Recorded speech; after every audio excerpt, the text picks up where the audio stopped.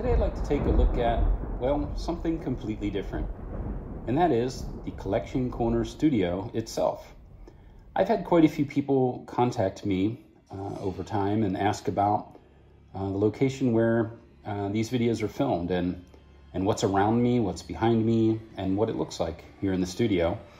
And so I thought I would completely change uh, the topic of my video to the studio itself and show you around. Uh, and what you'll see is really just a fraction of the collection that makes up Collection Corner.